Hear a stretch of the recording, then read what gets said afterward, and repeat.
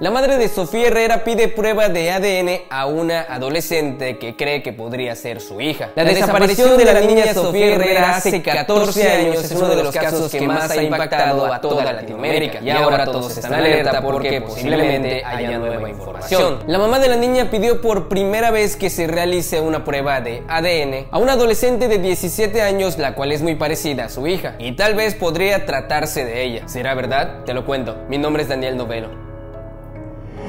Primero les pongo en contexto de todo el caso de la pequeña Sofía Herrera. Sofía Herrera tenía tan solo 3 años cuando desapareció un 28 de septiembre del año 2008. Sus papás con unos amigos salieron un domingo a pasear en el camping John Goodall. Este lugar se encuentra en Argentina. La mamá de la niña María Elena y su papá Fabián Herrera se detuvieron en un supermercado a comprar comida y luego en la estación de servicio se encontraron con Noemí Paloma Elizabeth Ramírez y Silvio Jiménez, quienes a su vez estaban con su pequeña familia. De hecho, uno de sus hijos, el niño más pequeño de 6 años, comentó que había visto que se habían llevado a la niña, pero nunca le hicieron caso. Pero no nos adelantemos. En esa estación de servicio, el papá le tomó una foto a la pequeña Sofía con su mamá. No se imaginaron que esa sería la última foto que tendrían de ella. Luego de eso, el grupo llegó al camping, pagaron sus 15 pesos que te cobran por la entrada, y como María Elena estaba embarazada en ese momento, prefirió quedarse en el coche, mientras Fabián y sus amigos se iban a algún lugar a buscar dónde acampar. No había pasado ni 10 minutos cuando ellos regresaron y la mujer preguntó en dónde estaba la niña. Fabián le dijo que creyó que se había quedado con ella y María Elena pensó que se había quedado con él. Y ahí es donde empezó la pregunta que hasta el día de hoy, 14 años después, aún no es resuelta. ¿Dónde quedó Sofía Herrera? Así pasó el tiempo y año y medio después le avisaron a la familia que en Argentina había una niña que era muy parecida a su hija. Inmediatamente el fiscal que estaba a cargo del caso viajó hasta ahí para encontrarse con una pareja de médicos que acababan de adoptar a una pequeña niña. Este hombre le tomó fotos y cuando se las mostraron a María Elena, enseguida vio que no se trataba de su hija. Como no había pasado tanto tiempo, era imposible que cambiara en ese pequeño lapso. Y esa fue la primera desilusión de muchísimas más que hubo en donde creían que posiblemente había una esperanza y luego resultaba que no era la niña. Si quieren ver el caso completo, anteriormente ya lo había hecho, así que lo pueden encontrar por aquí. Ahora que ya se cumplieron 14 años, tal vez podría haber una esperanza, pues resulta que María Elena ha encontrado a una niña que se parece bastante a su hija, claro, tomando en cuenta la edad que tendría hoy en día. Entonces ha solicitado que le realicen una prueba de ADN a un adolescente de la localidad de San Juan que se parece mucho a la pequeña Sofía Herrera. Según la mamá dice que hace apenas algunos meses una mujer la contactó vía Facebook y le dijo que había una joven muy parecida a su hija. Estamos hablando de que esta chica tiene 17 años, la misma edad que tendría Sofía ahora. Además es una joven que fue adoptada y en las fotografías que le mostraron se parece bastante a la pequeña Sofía. De hecho dicen que el parecido es impresionante, no me consta. Obviamente por todo esto María Elena cree que se podría tratar de su hija y fue por esa razón que pidió la prueba de ADN. Lamentablemente la prueba fue descartada por el juzgado, ya que la familia mostró documentos en donde se demuestra la procedencia de esta niña. Al parecer esta chica fue adoptada en el año 2006, o sea dos años antes de que desapareciera la pequeña Sofía, y esto sería prueba